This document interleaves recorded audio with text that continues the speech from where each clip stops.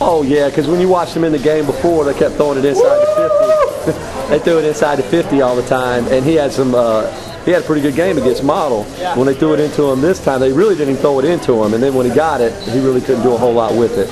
And uh, their penetration, we kind of decided we made them a jump shooting team when they when they did get a shot off. So yeah, he's going to block some shots.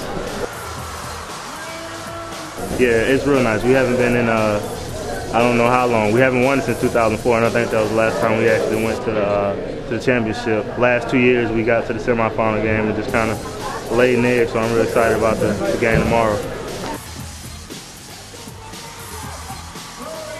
I think a lot of it is, is, you know, our size really got to them. As far as our ball pressure, it was pretty good. I mean, that's something we look at. If you have ball pressure, you make them do something with the ball, do something quick with the ball, and speed them up a little bit. Even though they kind of held it, they were always kind of in a frantic. And I told them at halftime, all their offense was going away from the basket. Right. And, and if you do that, and, and they're not trying to score, they're just trying to get it to somebody who's open, then you're doing pretty good.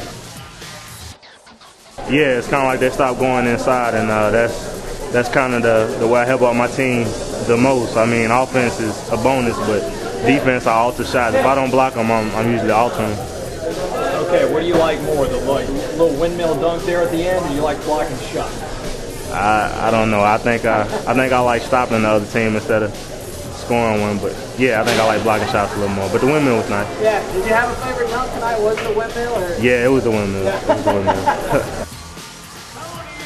Well, it'd be gratifying if we win it. That's uh, uh, that's our goal. I mean, we don't want to come up short, but uh, you know, I'm sure whoever we play is going to be very good, and uh, we'll just see what happens. If we can play with this intensity, which I'm I'm pretty sure we'll get that, and then uh, you know, make a few more shots, we'll be all right.